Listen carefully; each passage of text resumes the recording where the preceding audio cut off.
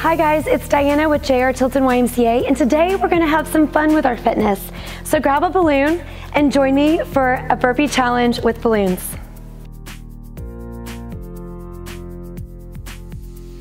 Okay, so what you need is a balloon. So grab a latex balloon that you have laying around your house. Um, I use these all the time with my clients. It allows us to really work on our breathing. It works our transverse abdominis and it allows us to breathe deep in our lower lung, the places we don't really get to very often. So take a balloon and blow it up really big. That's a good size. And then go ahead and tie it off. So what we're gonna do is we're gonna take our balloon and we're gonna tap it up into the sky and then the challenge is to get a burpee in before the balloon hits the floor. So it's supposed to be fun, so we're gonna laugh and smile a lot, and that's okay. So you can do it for time, or you can do it for reps. We're gonna do five here. So I'm gonna get ready. Um, we're gonna put our feet right under our hips. Remember, a burpee is squat, plank, squat, rise.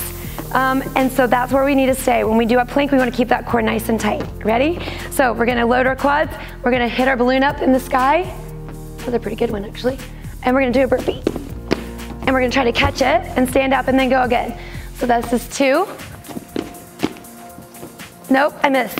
That's okay, we're gonna keep going. Here's three. So tap it really high. Nope.